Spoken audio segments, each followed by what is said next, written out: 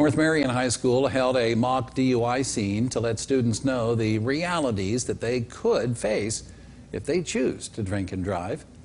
With prom coming up Saturday in many cases, the students watched as first responders worked on a realistic car crash involving three high school students who were drinking and driving.